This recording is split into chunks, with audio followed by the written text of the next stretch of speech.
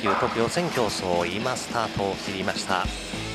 さあまず1番車の白浜あるいは3番車の矢田進むかというところだったんですがまず3番の矢田進が今日は前を取っています。スタートを取ることができました。これで2番のじゃあ3番車の矢田進が正後方に収まったことによりまして福岡勢がラインを固めていくことになります。ゆっくりと7番車の松田が上がってまいりました。3番7番と福岡勢前段。引いて1番の白浜はこれで3番手4番車の吉永祐一と地元の白浜に大分の吉川です。九州ラインはいずれも別線での戦いということになりましたがご覧の通り周回中は九州4人が前段ということになっています。一方2番の米島の位置は5番手回り。この人は先行してもよしそして強力な中段からの鉄砲を打ち込む力を持っています。その米島の後ろに5番車の高橋がマークをつけています。当然ここは岡山コンビということになりまして最高峰が6番の西川です。西の即席勢が後方待機で2周回目。3コーナーから今縦1本で2センターにかかったところ。そろそろ行ってみようというんでしょうか。2番車の米島圭介がペダルを踏み込んだ合わせて1番の白浜も踏んでいきます。残り2周になりました。回ってジャンというところで1番車。白浜が飛び出しています。4番車の吉川。1番4番と九州ライン。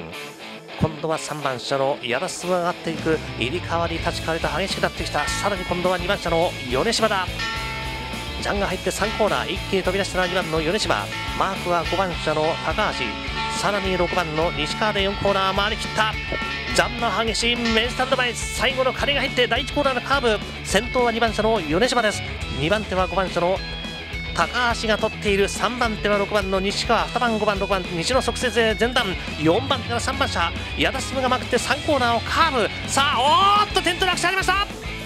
さあ走ってるのは西4人になった4コーナー待って直線。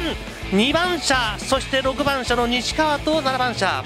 2番6番7番。2番6番7番。しかしこのレースは転倒落車がありました。波乱がありました。10レースの A 級特特予選競争。3人が転倒落車であります。ゴールの通過中2番車の米島6番車の西川7番の松永。2番6番7番で通過。ご覧の通り2センターで転倒落車がありました。走ってるのは4人であります。2番6番7番の通過。ご覧の順番で通過しておりますが決定ではございません。審判の決定放送があるまで今しばらくお待ちいただきたいと思います。10レースの A 級特予選競争をお伝えしてまいりました。